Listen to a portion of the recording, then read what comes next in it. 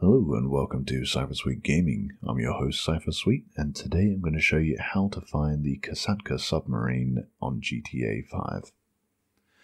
All you need to do is go to your interaction menu by pressing M on the keyboard, uh, the menu button on the Xbox controller, or press and hold the touchpad on the PlayStation if uh, you're playing on PlayStation.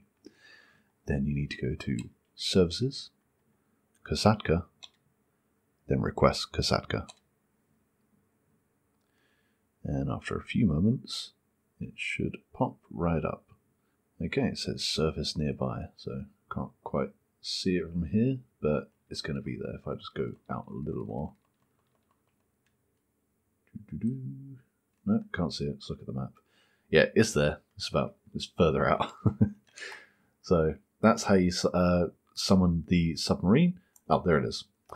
So if uh, you want to get to it, you can either fly to it or if you want to, you can go to the interaction menu, again, go to Services, Kosatka, and then request a dinghy.